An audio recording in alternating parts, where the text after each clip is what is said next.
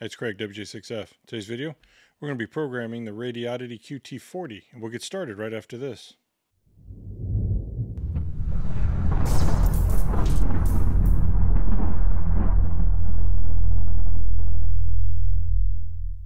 Okay, the first thing you want to do once you get to radioddity.com, go up to the top right corner and hover over the word support. It'll bring down a drop down menu, go to the far left, click on the Radioddity window, scroll down to the bottom, and you'll see the QT40.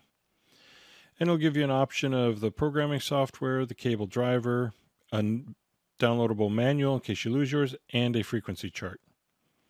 Go ahead and download the cable driver and programming software. Okay, once you have the software all installed, go ahead and open up the program. First thing you want to do is up in the menu bar, in between the read from and write to icons, you're going to click on that little button and this will allow you to set up your COM port. In this case, we need COM port 3. Click OK. Then go to this little computer screen, read from radio. You can either do that here or up in program. Then hit OK.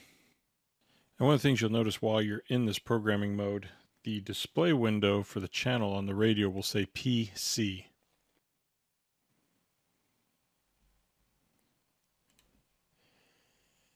And the repeater we're going to be setting up, the frequency is 29.6400, and that's it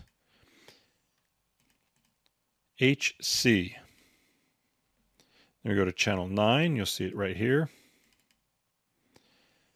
Now set your CTCSS for transmit. Over here, you have CTCSS and DCS. Choose the right frequency. In this case, we want 107.2.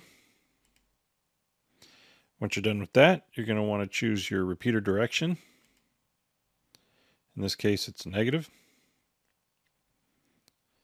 Then once you have that all set up and you get all the repeaters in that you want to put in, over here they also have the weather channels. This is your menu area. You can set this up however you want. Do 120 seconds here for timeout timer.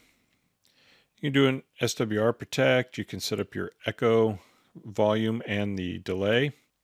You can set up your Vox, monitor volume, squelch level. If you want to try out different Roger beeps, click on this one, opens up this other window, and you can sample the different ones. Once you have everything set up the way you want, go ahead and click on this little radio icon. This will write it to the radio.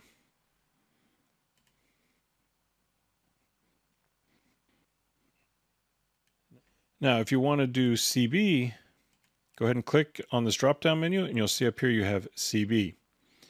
Put some of them in different orders, but it will give you the CB frequencies and you can adjust those as you see fit.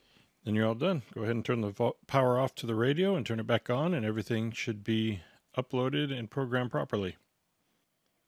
As you saw, it's a real easy software to use, not much to it, but does give you all the functions you want to alter and adjust. Unfortunately, it's not available on Chirp yet, but it might be in the near future. I really appreciate you taking the time to watch this video. If you have any comments, questions, or concerns, please leave them in the comments section below. If you haven't done so already, please subscribe and don't forget to click on the bell so you'll be notified each time I upload a new video. If you'd like to help support the channel, there's a Patreon link in the description area. And while you're here, why don't you check out one of these other videos? And thanks again for watching.